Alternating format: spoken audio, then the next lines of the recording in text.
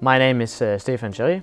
I'm IT manager here at Minerva and also in charge of internal Aras training. Today in this video I'll be showing you how to integrate data into Aras Innovator by making a small SAP integration and importing stock information uh, from SAP.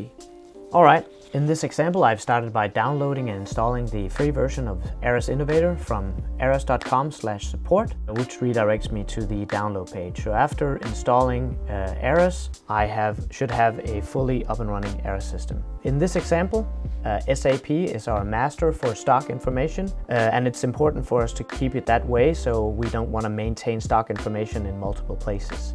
And we also don't want to copy data so it could fall out of sync. The first thing we want to do is extend our data model to support the stock information. Every piece of data in Innovator is called an item. So what we do is we find the, uh, the item type of the item, and in this case it's the part item type. Go ahead and open that up in the admin interface. Now what we want to do is we want to add two federated properties. So we'll click add new property call the first one SAP quantity. And the data type will be federated. Now, in this context, federated means uh, a property that is that displays transparently uh, data from other systems. Uh, we also want to know what what unit we're dealing with that is also federated because it's also coming from our ERP system. I'll set these two fields to hidden because we don't want them to be displayed in our search grid.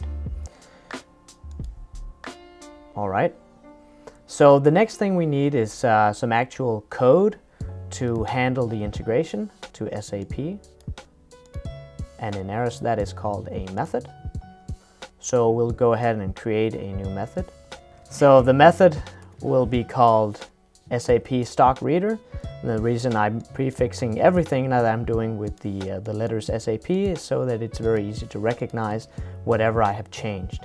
So this type of method will be running on the server side, so we'll, we will create that in C Sharp. Now luckily, uh, Aras Innovator does not have its own proprietary script language. We can make everything in C Sharp or in JavaScript, so we don't have to learn a new programming language to be able to do this. Now I've created this SAP integration method using the uh, the publicly available documentation on the SAP website and they also provide a sandbox environment that we can we can then access. If you notice the URL here is the sandbox environment that SAP provides to us. So I'll go ahead and save that. And the next thing we want to do is to um, make sure that this method, this code is being run. Um, so we go into server events in our item type. And then we find the method that we just added. It's right here.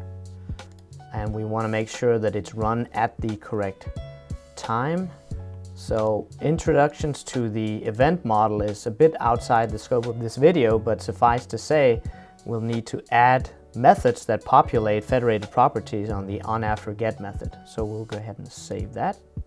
All right, so the next thing we want to do is we want to display the stock information to our users. So we go into our Views menu and edit the form that we already have. At the moment, of course, the, the new properties that we've just made are not displayed, but they are in the unused properties drop down. So what we'll do is we'll find them down here. So first we'll bring in the quantity. I'll make sure that it snaps to a grid so it looks reasonable to our users. I'll find the, um, the units and I'll place them next to the quantity. So now we have the, the two properties that we just added uh, represented in our uh, graphic user interface uh, via these two fields right here. Now, since this is a one-way communication, since our SAP system has the, um, the actual uh, stock quantity, I don't want my users uh, to edit these fields, so I'll just make them into disabled fields. Go ahead and close this. And what we should now see is that when we, we find the parts in question, so for instance this extruder, it should now have the, the stock quantity of our, from our SAP system listed with a specific unit type. So in this case we have two of these extruders in our, in our stock inventory. And if we look at something like uh, this SD card, we'll notice that we have 93 of these. And that the same goes with the other part items I have in my system, that the SAP stock quantity is displayed right in the interface. All right, that does it for this uh, presentation. Uh, thank you for watching.